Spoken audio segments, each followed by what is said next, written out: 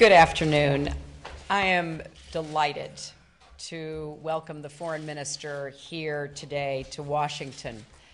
Uh, we have been looking forward to uh, Minister Wunna Maung Lwin's visit and uh, the continuation of the close consultation and cooperation uh, that uh, has begun taking place between our two countries. Uh, we met in Naypyidaw uh, last December, and I'm very pleased uh, to have you here, sir. This is a historic visit, the first in decades, and it is a testament to how far we have come together in a short period of time. I want to salute President Thein Sein for his leadership and the leadership of his government uh, as it charts a path of political and democratic reform uh, for his country. I want to salute those like uh, uh, Daw Aung San Suu Kyi and all who struggled and sacrificed because they believe in a better future for their country as well. And I want to thank everyone here uh, in the United States who has supported this process and understands uh, the significance of what is happening. Uh, in particular, our partners on Capitol Hill, Republican and Democrat alike, uh, including Senators McConnell, McCain, Kerry, Webb, Shaheen, Congressman Crowley, and others. This is a moment for us to recognize that uh, the progress which has occurred in the last year toward democratization and national reconciliation uh, is uh, irreversible, as the minister said to me. The United States wants to do everything we can to be sure that is the reality. I applauded the parliamentary elections and recent steps to bring an end to conflict with the uh, Karen National Union, one of a number of internal conflicts with ethnic minority groups that uh, remain a matter of concern that the government uh, is focused on. And I heard uh, a very promising report from the minister about the additional steps uh, that are being taken uh, to continue reform. The United States uh, is committed to supporting this reform. we want to encourage it. We acknowledge it, but more than that, we want to be partners in seeing it continue. So today we are announcing the nomination of Ambassador Derek Mitchell as our new ambassador, the first since 1990. Ambassador Mitchell has been serving as my special representative. He is well known and respected in the region. I urge the United States Senate to quickly confirm him to this new post so he can continue our important work. And I look forward to welcoming your ambassador to Washington.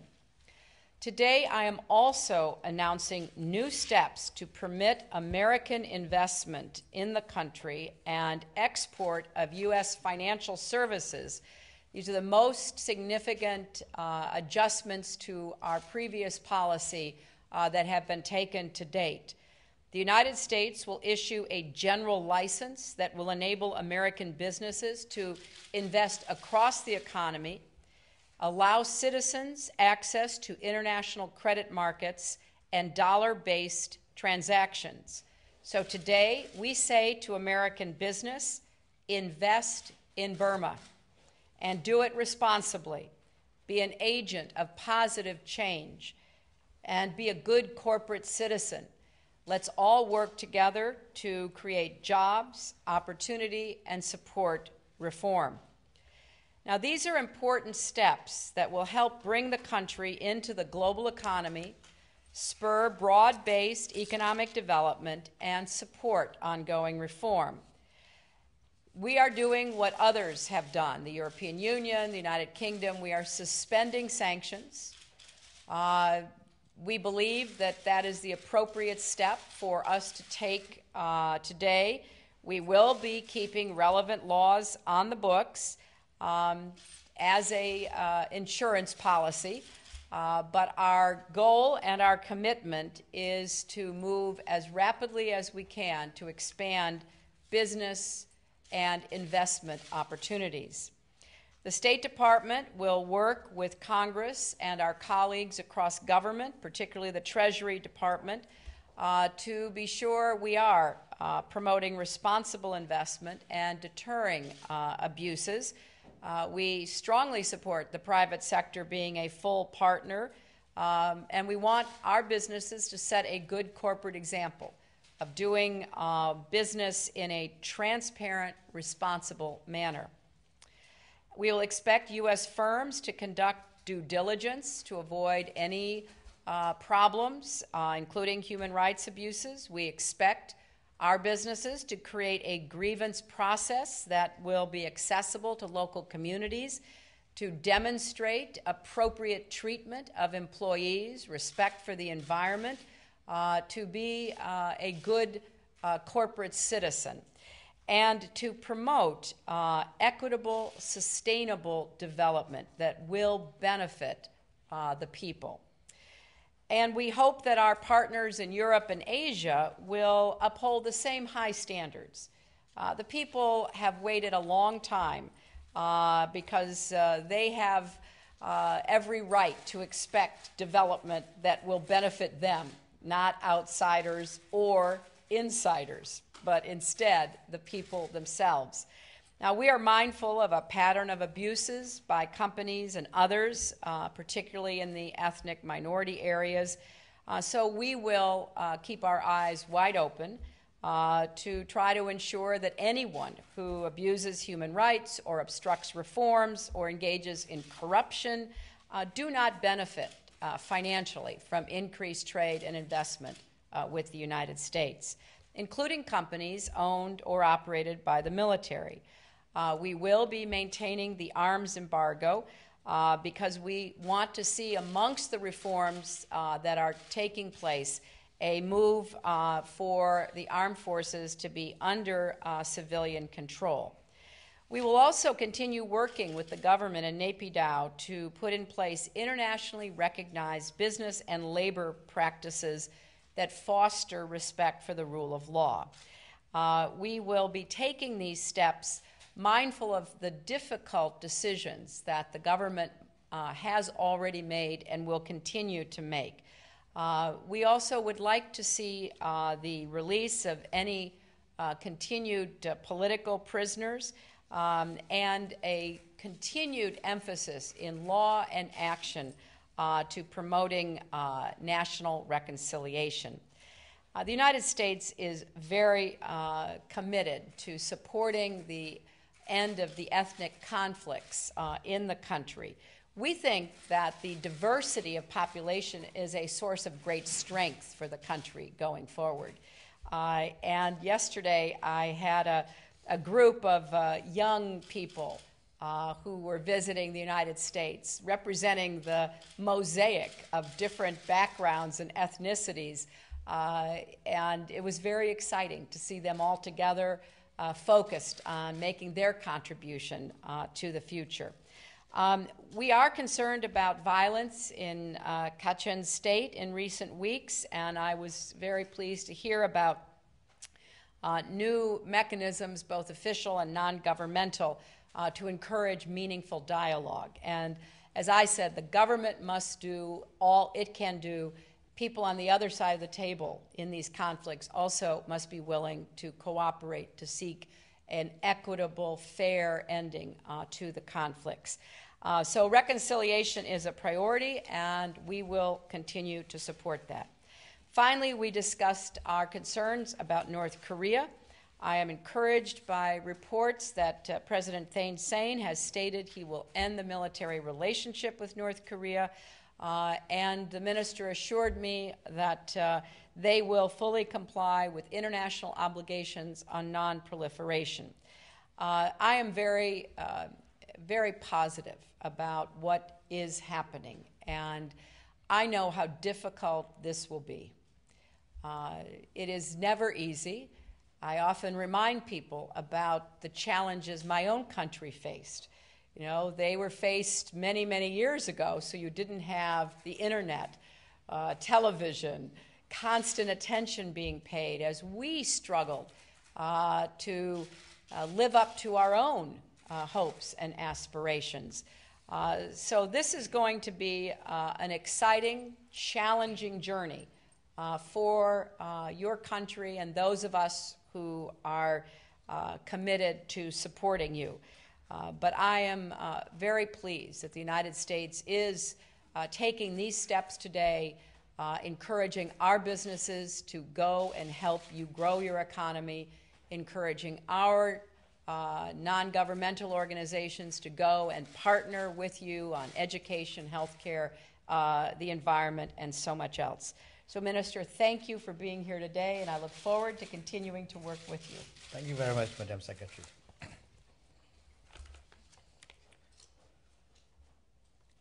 Uh, ladies and gentlemen, I've come to Washington, D.C. on an official visit at the invitation of Secretary Clinton. And this afternoon, we had a friendly and cordial discussion on matters relating to further promotion of bilateral relations.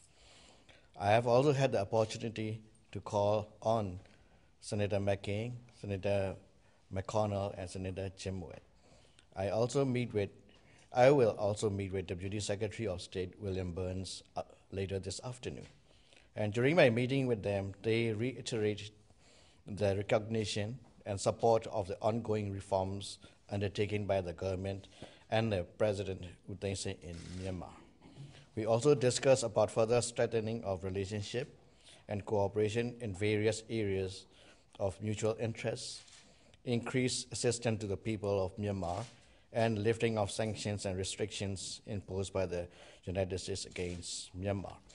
Uh, I have expressed our appreciations to the government and the people of the United States for supporting our efforts of reforms in the transition to democracy and reiterated our determination to continue our reforms. The decision on the appointment of ambassadors in both countries is an important step forward in our efforts to resumption of normal diplomatic relations after more than 20 years. Ambassador U Than Swe will be the Ambassador Extraordinary and Plenipotentiary of the Republic of the Union of Myanmar to the United States. He is currently serving as permanent representative of Myanmar to the United Nations in New York. I have full confidence in him because he has done an excellent job as our interlocutor uh, with the United States side since we began dialogue for resumption of normal diplomatic relations over the last several months. I'm also glad that Ambassador Derek Mitchell will be the new U.S. ambassador to Myanmar. And Ambassador Mitchell is no stranger to Myanmar. In the past 12 months, he has successfully served as a U.S. Special Representative and Policy Coordinator for Myanmar, during which I had the pleasure to work with him very closely. So my congratulations, my congratulations to both of them and wish them all the best for the new important responsibilities. I wish to thank Secretary Clinton for inviting me to Washington for the official visit. I would like to express our appreciation to the State Department and the United States government for the warm welcome and gracious hospitality accorded to us, as well as for the excellent arrangements made for us during our stay in Washington. I thank you all. Thank you so much. Thank you. Thank you.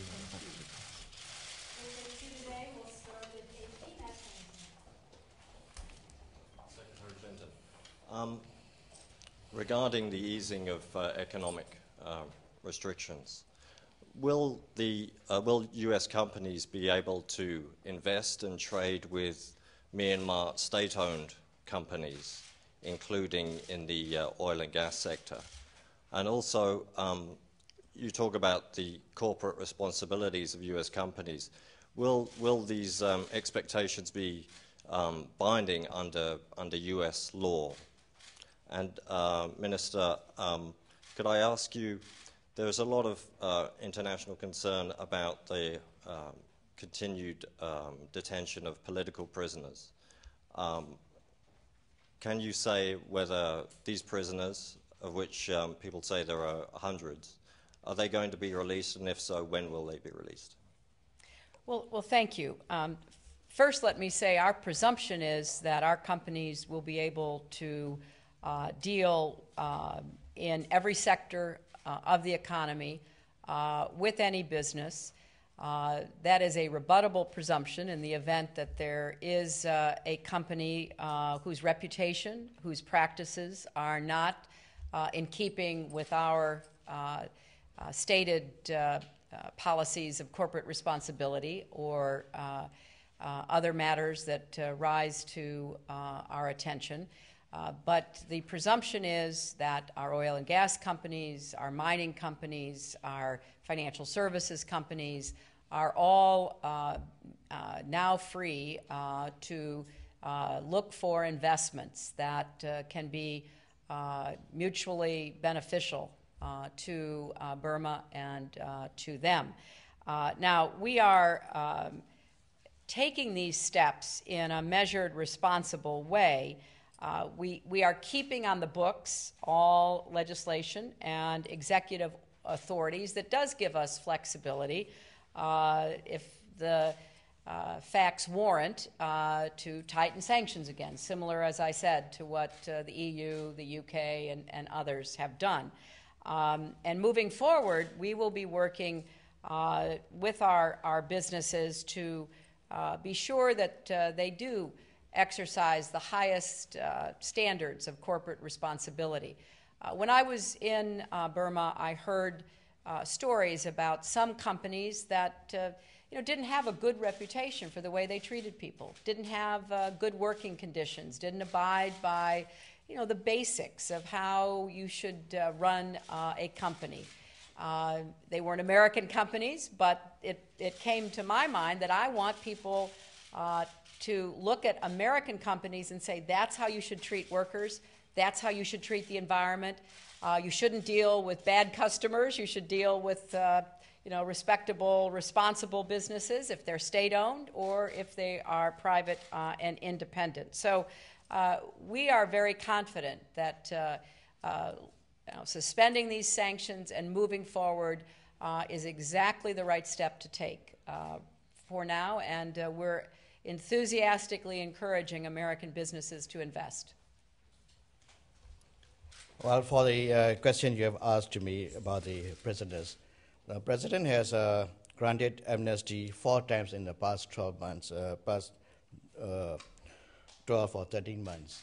About uh, 28,000 prisoners were released from prison. And we have seek uh, list the so-called uh, political prisoners uh, from the European Union as well as from the United States. And after the uh, last uh, amnesty, which has been granted in January, um, most of the people included in this list were released. And there are some remaining uh, from the list. after uh, thoroughly uh, checking and investigating these lists, there are, there are uh, some uh, prisoners who have criminal offenses such as murder, rapes, or connecting to terrorist activities. But uh, the president, in exercising his mandate uh, invested upon him by the Constitution, he will uh, further grant amnesties when appropriate. I think this will answer your question. Last question, I, actually, I, I have uh, two parts of the questions, and first I'd like to address to the uh, Madam Secretary and the Minister Wunna Maung Lwin. Uh, since the United States is uh, uh, easing sanctions, could that goes collide with the China, which is uh, uh, quite influential in the region. And also, we have seen the report of the concerns from the Chinese officials. And also, last year, we have seen the China's disappointment uh, after suspension of Myitsone dam project. Thank you. Well, well, let me say what I said when I was in Naypyidaw. Uh, the United States uh, does not uh, expect uh, any country to uh, give up relationships with their neighbors. And China is a neighbor. and there are long standing ties uh, that uh, uh, certainly are uh, deep in uh, the soils of both nations. What we are doing is providing additional support for the kind of development, both politically and economically, that the reform process, uh, which the government in Naypyidaw has begun, uh, has made possible. Uh, because we do value representative government, democracy, um, good working conditions, uh, protection of the environment, uh, the kinds of things that the United States stands for. Um, we hope that our relationship can be one that is very supportive of what I am told are the steps that the government and the people themselves wish to take. So this is a not about any other nation. This is between us. This is rooted in the changes we have watched happen and our desire to support the continuation of those changes. And we fully expect uh, that there will be many countries, uh, as you've already seen, who want to develop stronger and better relationships in the neighborhood, in the region, and around the world. And we think that's good uh, to open up the country, give the people more opportunities. Uh, so we are very, uh, very pleased to be a partner in this. Forming on the part of the relationship with uh, China, we have a very long traditional and historical relation with China. We have a very good relationship with China as we are neighboring countries, sharing the common border of more than uh, 2,000 uh, kilometers. So we are cooperating uh, with China. We are inviting investments. There are investments from China. And according to the uh, suspension of the Myitsone project, we have our domestic concerns, and then we have suspended that, and we have informed that cordially to the Chinese side. And this is only a part of the cooperation between China and Myanmar.